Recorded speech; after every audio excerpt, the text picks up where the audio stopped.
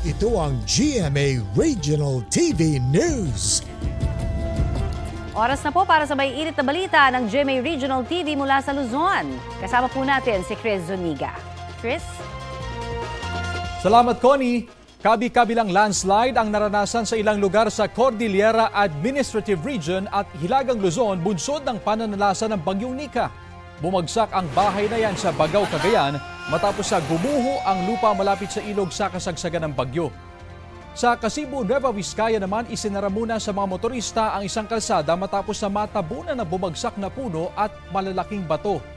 May naitala ring pagguho ng lupa sa mga bahagi ng Napua at Namatek ng Baguio Bontoc Road sa Sabangan Mountain Province.